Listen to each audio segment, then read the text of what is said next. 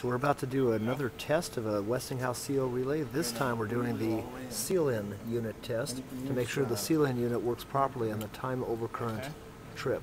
So we're holding the uh, time over current contacts, the CO contacts closed. The Manta unit is going to inject DC current through there of a higher and higher value until the seal-in relay picks up. Then it's going to open up the CO contact, tell the Manta that it's picked up. It's then going to decrease the current until the seal-in relay drops out.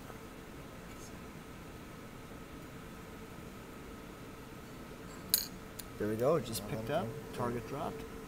And now it is reducing the current 2.1 amps, 2 amps, 1.9, and it's going to wait and see how long it takes for that to drop back out.